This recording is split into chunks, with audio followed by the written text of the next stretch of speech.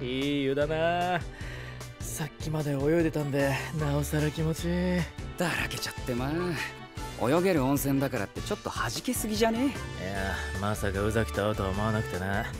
つい泳ぎに熱が入って。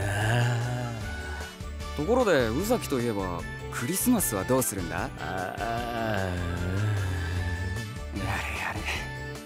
次回クリスマス前はドキドキさせたい期待されてんぞ酒